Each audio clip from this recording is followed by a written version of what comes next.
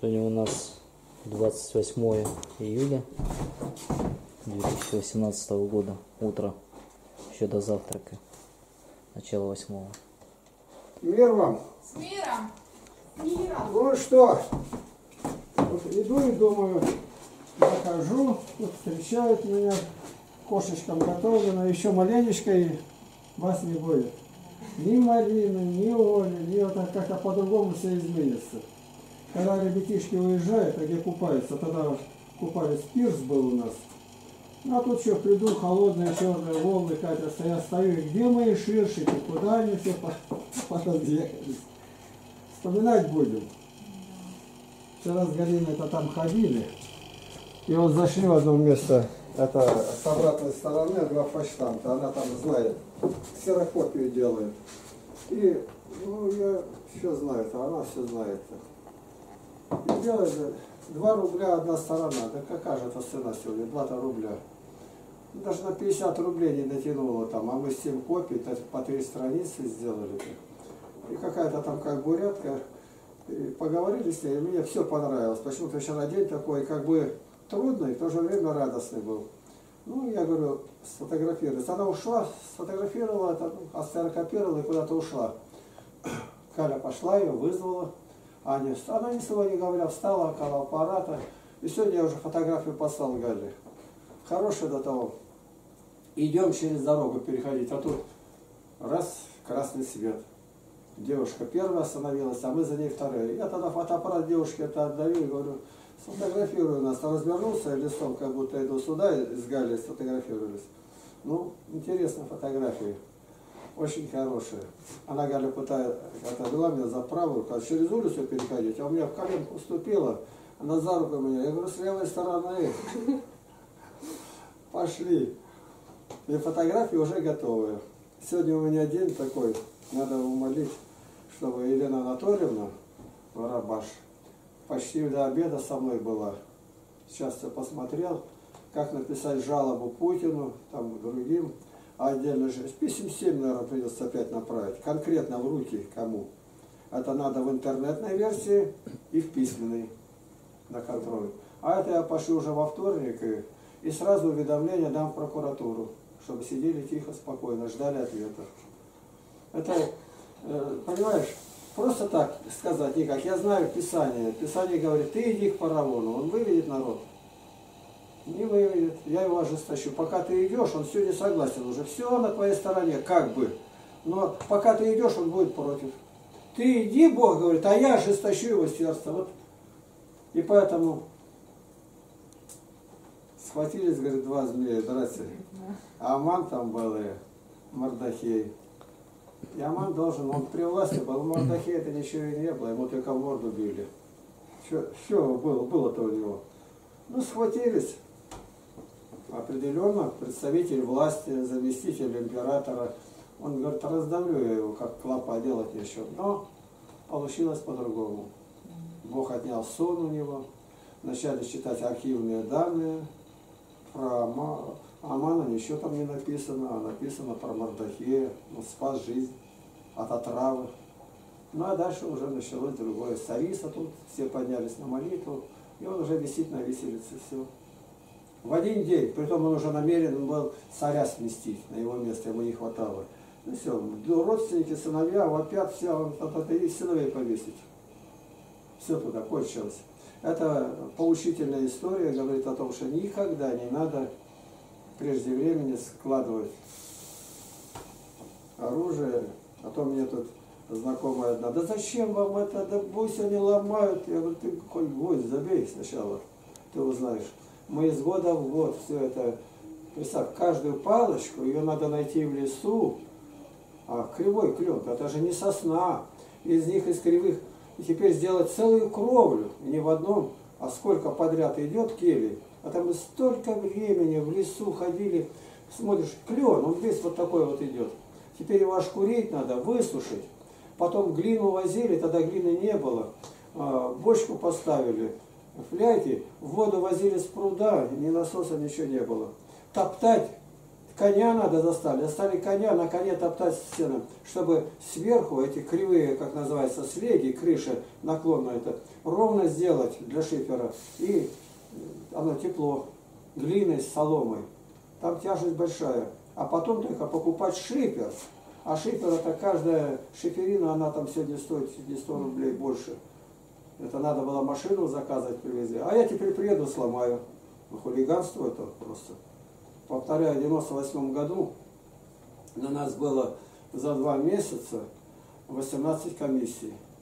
15 комиссий. 15, притом это комиссии на нескольких машинах, представители власти, милиция, даже ФСБ, КГБ тогда было, пожарная, электрики, разные-разные, краевая администрация, районный глава администрации приезжает, и заместитель его ничего не сделали. Фильм поставили против нас. Фильм снимали, приехали, ГТРК прислали. И он снял, показал и спрятал. У нас там работала одна Ольга Викторовна Унагаева на радио, телевидении где-то.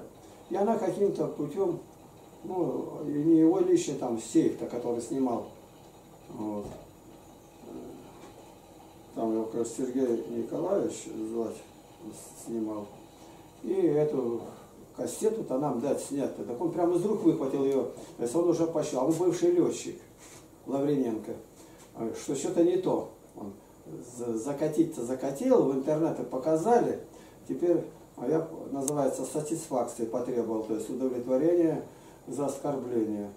Подрядила репутацию. А тут один родитель посмотрел, мгновенно приехал, прям уже вечером, и ребенка все, еще не говорит, и я телевидение видел-то. Когда пошел ребенка, то спрашивает дорогу, а ребенок говорит, ничего этого пап не было. Да вас не кормят тут, там где-то под землей. Ты что, пап? Тут, тут каждый день купаемся, по шесть раз говорит это. Он на, на развернулся назад. Вечер это. Я виноват, вот я взял ребенка, я поверил. Я говорю, нет, это уже, зачем мне это нужно? Вы уже поверили, вы уже не, не с нами вместе. И, и другой лагерь найдете где-то. Ребенок не виноват, конечно, вы поторопились, но взять назад не У меня свои принципы есть. Я тебя не звал, ты поверил, давал ребенка, ты знал, и какую-то посмотрел там передачу, даже не позвонил мне, тогда телефонов этих не было. Вот такая была большая-большая атака на меня. А потом я вернулся, в суд подал, и три, кажется, процесса было, и все выиграл. Все. Они заплатили, Э, сразу указания по телевидению показать, это опровержение. Меня предупредили, Геращенко у них там главный был. Ну и звонят, дескать, им, у них программа, а им сказали, самое такое время, допустим, в 5 вечера показать, или в 6, когда люди дома где-то. И они прислали ко мне Масолов, фамилию, помню его, заместитель этого Геращенко. И, так сказать, давайте вот так сделаем, мы о вас хороший фильм поставим, а вы снимите эти требования от нас. Это. Вот, когда вы поедете в следующий год, я говорю, как так? Еще не были, уже хорошие, но уже я доверять ему. Не видел ни дня, ни... И уже обо мне поставить хорошую. То есть вам разницы нет, и тебя долбанули тебя, значит, теперь я, я хороший стал. Мне это не надо. Я какой хороший? Я человек. Хорошие это благие. Благие это значит только Бог благ. Не были, не разговаривали, и уже хорошие. А пришел надо, мы на дому у меня сидим. Я не могу это сделать, я говорю. Ну, как-то надо, понимаете, это самое такое время-то, когда они, они же деньги за все получают. Я говорю, я не настаиваю, в какое время. Да нас никто сейчас не спрашивает. Судебный пристав прямо указание дал. В это время показать завтра. Предупредите Лапкина, чтобы он смотрел. И оказывается, у них власти, а никакой власти-то и нету. Все. Я говорю, ну я снимаю это, чтобы в это время это переставьте. И мы не можем, нам указание дано. Вы только можете теперь это сделать, передвинуть. Я говорю, а зачем буду передвигать? Ну вы меня вначале долбать. Неправда. Это я говорю определенно. Он еще прокурор не знает, что дальше будет. Он думает, я прокурор, полковник, и теперь все. Да нет, конечно, все у Бога. Аман какой был, и повесили его, на виселице, все только ноги болтаются. Так что Берия какой был, вся власть ну, уничтожили, как будто никогда его не было. Это он не знает еще, что все молятся. Я поехал в терапию, у меня было, все предупредил молиться. И главное, все люди расположены. Вот я к вам зашел сейчас, уже привык как-то к этому, уже не два дня-то. Все тут, тут, рыжая моя тут лежит. Вот она лежит. Кошки провожают. Сейчас приду, у меня готово это. Оно будет готово, и Володя все сделает. Ну, как-то вот привыкаешь, приятно так это все. Вот так, дальше будет. Сегодня сейчас придет Сергей. Я с вами отдельно разговор проведу. Там, что вам поручение будет дано, обязательно к отцу Кириллу заехать, чтобы он вам дал на переезд денег там по городу. И у него аппарат сломали один, выхватывал, и чтобы там написал инструкцию, что делать, и они сделали. А потом дождаться и с Аказией обратно прислать. Он работал первое время-то. Немножко. Вот так- такие нет. И сегодня я пойду тоже помолиться об этом, чтобы Елена Анатольевна выбрала время. Почему? Я себе не доверяю. Там не вижу, тут не слышу. И что с меня? А это очень серьезно. Количество знаков, я знаю, как не больше пяти тысяч. От конкретно Путину. Э, Бесплатный звонок, бесплатный юрист. И за неделю они 16,5 тысяч только писем, представь себе, обработали. Но наше письмо, оно а, просто притягивает. Я не о себе говорю. Я говорю о том, что себя отдаю. И бесплатный музей – это 3,5 миллиона примерно детей, которые могут жить по-другому, если бы с ними занимались. Никому не нужны беспризорные, выкинутые. Я, о чем? Все это понимают же, это, это настолько сильно, что это, речь идет не о человеке, а не о ребенке, которого в садик не берут, там, жалобы-то какие там, считать нечего. Речь идет о миллионах э, загубленных жизней. И это, это никто этим не будет заниматься. Здесь конкретно на практике они разводят руками. Это как же так? Это, а зачем? А зачем он прокурор? Зачем ему надо то другое? А я вспоминаю, Пашков был, он, кажется, Афанасий его звать, воевода Пашков. И ему было дано указание его там куда-то в Даурию сослать протопопа Аввакума. И он до этого еще был, а тот то ли выпил, то ли еще, и на него выхватил пищаль свою. Осечка, а он стоит протопоп перед ним. Второй раз опять осечка. Два раза, два раза перед смертью ставил. А он тут возмолился, матушка Богородица, уйми дурака. Молитва-то простая. Мне так и хочется сказать, матушка Богородица, уйми дурака. И ты, протопоп, услышь эту молитву-то. Ни, ни за что. Хотел убить. Он говорит, Афанасий, придет время, ты меня, а придешь ко мне, говорит, я тебя в монахи постригу, а он воеводу, за эти слова я тебя повешаю. А когда вернулся, ему там в счет поставили. Дорога что ты делал? Почему людей морил? От голода умерло 470 воинов. Воинов, которые охраняли у воевода-то. Ну, ему указ, а, а указ, видимо, был монахов не казнить. А, там где-то. И он прибежал к нему, постриги меня скорее монахи. Он говорит, а я же тебе говорил, все изменяется в этой жизни. Сегодня так, завтра так. Это жизнь, говорит, как на качелях. То кверху поднимет, то к опустит. Вот я сейчас все вспоминаю, сегодня так лег спать, и до того, и сон спокойный, и ничего на душе. Но я-то ни в чем не, не виноват перед ними. И поэтому, э, если только возможно будет, самый из них такой боевитый депутат, это Жириновский Владимир Вольфович. Если до дела дойдет, и он выступит и поднимет, это будет грань всю страну. Сегодня мы в Государственную Думу напишем генеральному прокурору, лично Путину, Медведеву, и да еще и письма пошлем в письменном виде. Они еще не знают, куда напоролись. Как мне говорят, я в университете преподаю.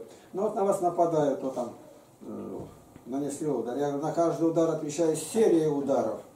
Почему? Потому что это не мое дело Божье. Я за дело Божье. Я за детей.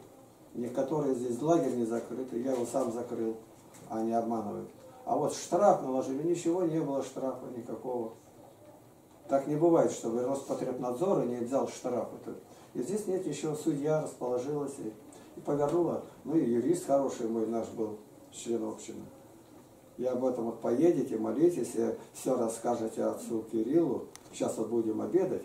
Я принес этот видеоаппарат, чтобы Сергей вам отдал, написал инструкцию печатными буквами, что нужно делать.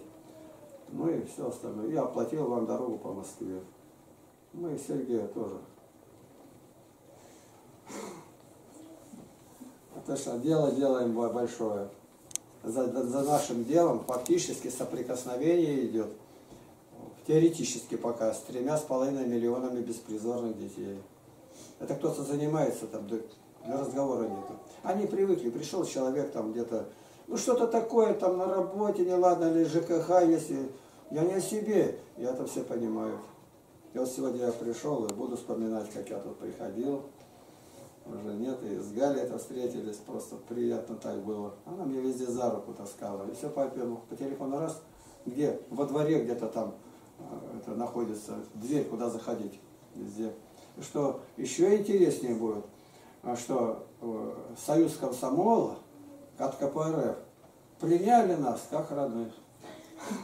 Это вообще. А там молодежи столько, ну, ко- ко- ну, которая коммунистических, и не везде Сталину не стоит они этим. Ну, поговорили, записали. Обязательно обратят внимание. Почему Бог? Он не может уснуть, проснулся, еще делать, чем занять. Он закричал, ай-яй-яй, пришли, что? Сна нету. Может посчитать что-нибудь? Считай. А что, в библиотеке пошел и первый свиток берет, считает, и как раз все по ходу. И письмо вовремя в руки попадет, и, и читать будут, и я уже знаю эту историю-то. Ну и как он спас жизнь, и как его наградили. Вы помните там историю? И, ну, царь-то, люди-то, потомки-то будут считать, как его наградили. Так они написаны никак. Это как? Жизнь спас императору и никак не наградили. Так что потомки там обо мне будут думать-то? Так, и утром самого главного вельможу врага спрашивает, а что бы вот сделать такое, если думает царь наградить человека, так, чтобы весь народ знал. Ну, не было ни телевидения, ни айфонов этих, патефонов, еще нет. А то думает, а кого ему награждать? Только меня. О, вот тут теперь его все мечты исполнились. Значит, глашатай, чтобы был, кричал, посадить на царского коня, одеть его в царскую одежду. То есть он уже мечтал, ну как Ленин в Смольный забежит и сядет в кресло, которое- вместо царя, которого убил. Все сходится. Я в Смольном был, слышал. Ну и то другое. Он говорит, вот это и сделай. Сделай, возьми коня моего, посади э, Мордахея. Вот тебе и Мордахей. Ну и все, и кричали, и он пришел домой, жене рассказывает. Да ты что? Пропал ты. Почему? Если уже еврей начал возвышаться, все, это не конец. Это конец тебе. Конец так и получилось. А кто, чего, где? А она его приглашает из спирта.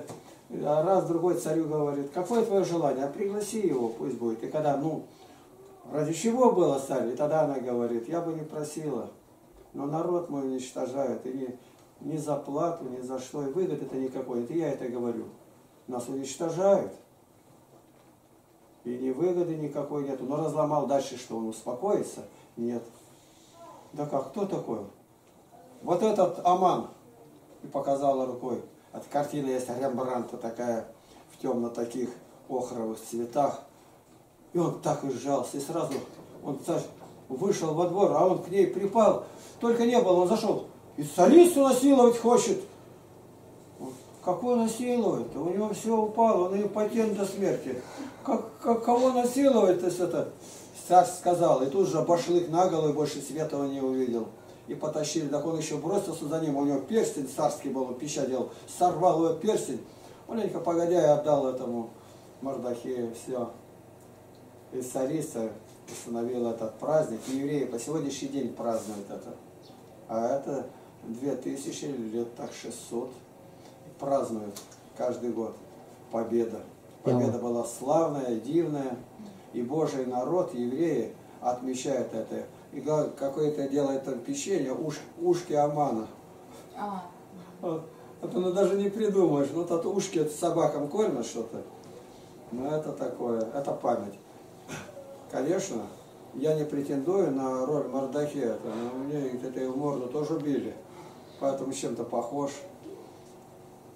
Самое интересное, мне одна женщина так из э, кабинета этого Медведева. Так это вы, Лапкин, это вас репрессировали. Ну, я после отдельно выходить, я спрашиваю, откуда вы знаете? Так об этом гудела вся пресса и все. И запомнила, главное, она по делу, которое было, по фамилии. Вот так. Сегодняшний день такой. Сейчас будем если завтракать, накормите, то и тогда и дальше пойдем. Вот так. Спасибо, Господи. Слава Я это заберу сюда. Слава Христу. Слава Христу. Так, ну все у нас здесь собрались. Кто звонить-то будет? Давайте. Давайте.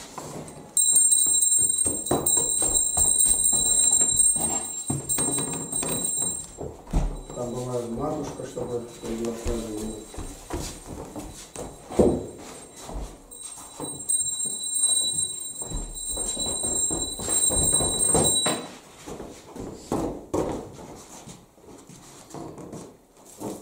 Господи Боже наш, слава Тебе.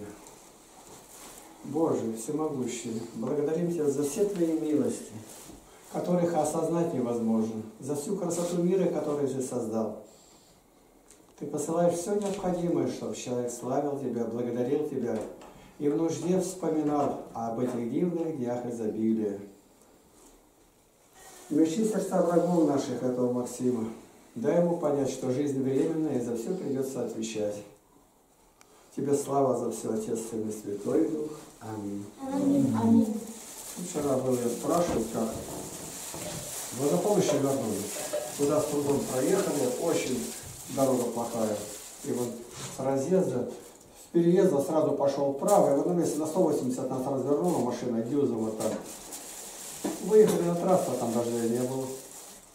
Из Барнаула выезжать, дождь потоком шел, выехали дальше, нету, тут сухо. Господь как будто шланг переводит время от времени. Так, уезжаете. Еще раз повторите. Когда вас вывозить?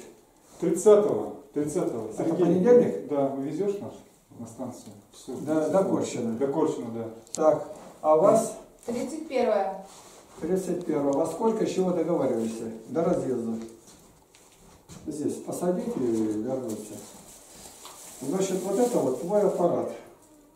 То есть мой бывший, который ты брал с собой, и там хулиган один когда сломал его. Я тебя каждый раз просил, дай не просто как-то, а подробная инструкция. Как это было, как схватилось, что там, чтобы было понятно, что нужно. Я не, не имел никого, кто поедет в Москву. Она едет в Москву, держи. Я возвращаю тебе его. Сейчас, только поеди ни шага никуда, пока не напишешь инструкцию, не попросишь ее, чтобы она передала там отцу Кириллу. И напиши, отец Кирилл, вот то-то, то-то, то-то, пойдите туда, только в Москве могут ремонтировать это, только в Москве. И они сделают. И у вас пока пусть там побудет, и посмотрим как, или пересылать почту, или не пересылать. А может попутчик какой-то будет. Аппарат весь целый, в одном месте где-то какой-то. А здесь не берутся ремонтировать, таких деталей нету. И Марине отдашь, она будет там в городе ездить, ты ей дорогу оплати э, за в городе передвигаться там тысячу или сколько. Все остальное у нее на руках. И доехать до дома деньги выслала Ирма э, из Испании. И Астахов туда ее прислал, и все. Мне надо будет вещи в камеру хранения сдавать. А? Мне нужно будет вещи в камеру хранения сдавать. В общем, с ней тебе все. Меня уже нету. Я уже переотдал и отошел в сторону. Моего там ничего нету. Тебе хорошо понятно? Я привез сюда, и оно мне лежит здесь уже два месяца почти. А Я еще не знаю, инструкции никакой нету. Э, Почему ты не написал это, только ты можешь сказать. Написать подробно, как схватил, как тянул, видимо, как-то это, может быть, повлияет, скажет, тогда, может быть, и там куда-то там что-то передалось. Никуда никак, пока я не передашь в руки, а ты, Аполлинария, напомни маме в Москве, скажи, а как аппаратура? К отцу Кириллу, знаешь, где он находится? Найду. О, Примерно. Храм Христа Спасителя. Найду. На этой стороне только канал, а рядом. Ну, там метров 200 отсюда. Больше-то нет, наверное. Второе. У нас были люди, которые уехали, а что-то осталось. Это Роман Малыш и Никита Колесников. Ни одним, что они не бросили, а просто оставили. Не трогать. Я слышал, что тут вопрос стоит, вот велосипед нельзя ли взять, ни под каким видом, даже не прикасаться. Значит, а как тогда? А тебе какая забота об этом? Как тогда? Забота это мне, мне она мешает в хозяйстве или где-то. Значит, тебе он нужен? Нужен, значит, я думаю, так, по правде, спросить за, с Никитой телефон и есть связаться, сколько это стоит. Сколько стоит и купить велосипед. Он новый велосипед, он его купил. Встань прямо. Так, понятно? Если его даже переводили с дома в дом, велосипед, и на, на шине там грязь прилипла, отмыть, поставить, как с магазина. Это сделать, если он нужен, прямо сегодня. Сделайте. Не прикасаться тем более. Это, это очень даже долгосрочная программа против тебя будет. Я не давал, и все. Не посягни на чужое. Об этом э, десятисловие говорит об этом. Не пожелай чужого, не пожелай ни поле, ни ничего, ни служанки, ни рабыни, ни осла. Пушкин говорил, я все признаю, кроме одного, как не пожелая рабыни. Только она на рабыне, поэтому я хочу с ней. Все. Пушкин даже не мог этого понять. Осла не тронет, машину не угонит. Все нормально, но как у Королева, тоже Павел Сергеевич, это сказать, Сергей Павлович, и было, говорит, ни одной говорит, кухарки мимо не пропустит. А ракетостроитель там такое, это пишет сегодня. И как верить? Ну а про Пушкина это он сам сказал. Это понятно? Не там, где у Романа, и там, нигде еще не прикасаться даже. Тем более он, видимо, наказал там, кто там сосед живет, и ему, чтобы там это приглядывало. Ну, тем более, то есть, оно под присмотром. Если оно где-то погибает на этом, тогда зайти и сказать, там что-то погибает, чтобы не пропало. Человек может продать, кто-то будет строиться. Простые вещи. Так, я сейчас попрошу помолиться об этом деле сегодня. Мне нужна освобожденная от всякой работы Елена Анатольевна Барабаш. Сегодня минимум 7 писем надо написать в электронной версии, отправить. Очень серьезно. Это Путину. Я уже нашел, все посмотрел. И как? Это просто проще пареной репы послать письмо. За больше недели они 16,5 тысяч только получили. Конечно, он не сам, и э, который у него там юрист, бесплатно, бесплатный звонок. Может быть, даже сделаем звонок ему. Но за этим все стоит. Я не доверяю себе. Где-то не досмотрел. А там написано, что э, то, что вы сделаете, пошлете. И вам поступил ответ. Ничего не переправлять нигде. Иначе ты будешь писать другое, а потому что у нас такого и нету. То есть у меня уже несколько было писем властям, и надо теперь соединить, нужное взять. Не больше пяти тысяч знаков. А пять тысяч знаков это не так и много. Надо узнать, как это сделать. Кому, я думаю, послать? Определенно, четко и ясно, это президенту, председателю Совета Министров Медведеву, это Путину, президенту. Третье, на всю Государственную Думу послать, генеральному прокурору страны это, мне уже все подсказали, адреса дали, там, где мы были, везде дали это. Дальше, отдельным я депутатам, которых я знаю, ну, считал много про них, отдельный депутат такой-то, заступает там Миронов, послать отдельно Жириновскому. Ну и э, там еще там один есть. Явлинский, яблоко здесь у него закрыто было. Сказать ему, какую роль сыграет, нет, но он озвучить депутат может как-то. Господи, благослови нас, расположи сердце своей Елены и тех людей, которые будут слышать. Даруй нам победу, которую одержал Ты, Господи, через раба Твоего Мардахея и Спирь над злобным и грозным Аманом.